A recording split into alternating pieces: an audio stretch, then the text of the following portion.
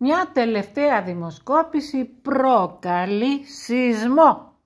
Ανοίγει η ψαλίδα ανάμεσα σε Νέα Δημοκρατία και ΣΥΡΙΖΑ σύμφωνα με δημοσκόπηση της MRB που έδειξε το Open.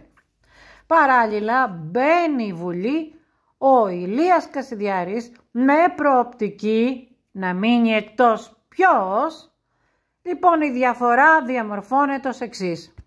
Νέα Δημοκρατία 29,4%. Πολύ λιγότερο έδειχναν προημερών συνάδελφοι του πολιτικού ρεπορτάζ. ΣΥΡΙΖΑ 24,9%.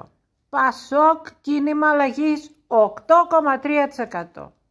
ΚΚΕ 5,5%.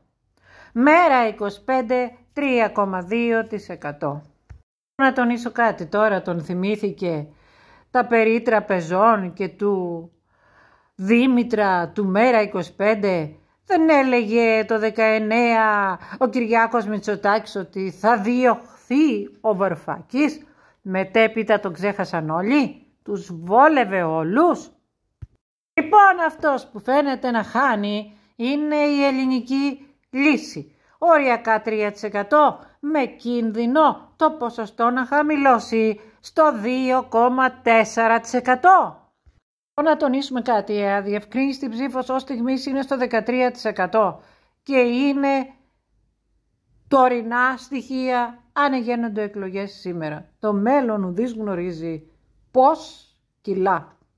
Ο Μπογδάνος και ο Εμφιετζόγλου έχουν ήδη από τον Άριο Πάγο κοπεί. Είχαν έμπλημα το αστέρι της Βεργίνα ήταν κι άλλα που δεν τα έχω ενώπιό μου για να σας πω λεπτομέρειες. Ακούστε βρε παιδιά τώρα, ποιος είναι καταλληλότερος πρωθυπουργός; Από τους χειρότερους ο καλύτερος, όπως λέω εδώ και καιρό. Κυριάκος Μητσοτάκης 37,4%, Αλέξης Τσίπρας 31,1%, ενώ ο κανείς λαμβάνει 19,4%. Το γράφημα που ακολουθεί φαίνεται κομματική βουλή με ηλία Κασιδιάρη Ελλήνες και πώς διαμορφώνονται τα ποσοστά.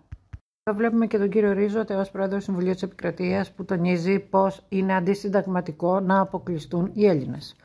Στο σενάριο τώρα εξακομματικής βουλής βλέπετε πάλι το γράφημα. Βλέπετε και το σύνολο σε άλλο γράφημα και αναγράφονται και οι έδρες σε κάθε κόμμα.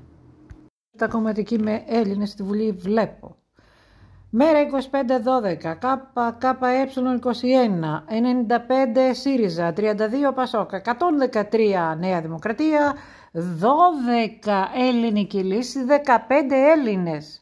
Για κρυμμένες ειδήσεις, έγκαιρη και έγκυρη ενημέρωση. Εγγράψου, κοινοποίησε να το γνωρίσουν όλοι η αλήθεια. Πάση θυσία εδώ.